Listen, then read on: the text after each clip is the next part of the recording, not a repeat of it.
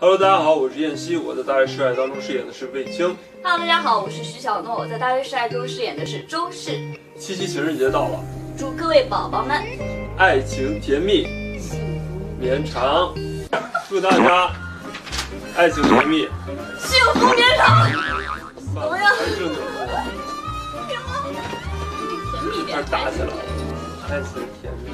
幸福绵长。你要家暴。这家暴